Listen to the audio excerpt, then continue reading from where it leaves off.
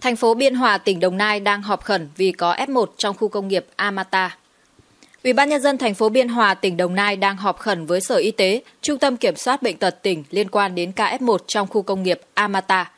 Theo báo cáo của Trung tâm Y tế thành phố Biên Hòa, Đồng Nai, ca F1 là chị NTTG, 32 tuổi, ngụ tại phường Tân Phú, thành phố Thủ Đức, thành phố Hồ Chí Minh, trưởng bộ phận kiểm kê tại công ty Tombow, lô 514 đường 13, khu công nghiệp Amata, thành phố Biên Hòa.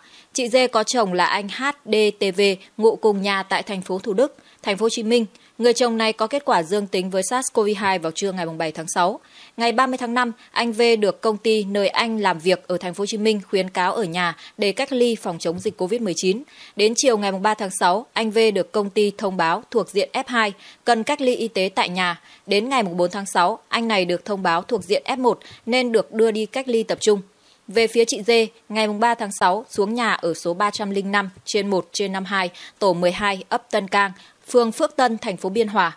Ngày 4 tháng 6 làm việc tại công ty ở khu công nghiệp Amata, đến tối về nhà tại thành phố Thủ Đức và làm việc tại nhà cho đến nay.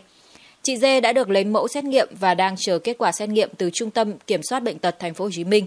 Do tính chất công việc nên trong quá trình làm việc tại công ty, chị Dê tiếp xúc với tất cả các dây chuyền làm việc tại công ty. Tại cuộc họp, ông Nguyễn Duy Tân, Phó Chủ tịch Ủy ban nhân dân thành phố Biên Hòa cho biết, sau khi nhận được thông tin, các lực lượng chức năng của thành phố đã điều tra truy vết được 27 trường hợp F2 tiếp xúc gần với chị Dê. Cả 27 người này hiện đang được cách ly tại công ty. Đến sáng, những người này đã có kết quả âm tính lần 1 với SARS-CoV-2. Ngoài ra, lực lượng chức năng cũng xác định được hơn 850 công nhân có tiếp xúc và liên quan đến ca F1. Chị Dê, ông Tân thông tin.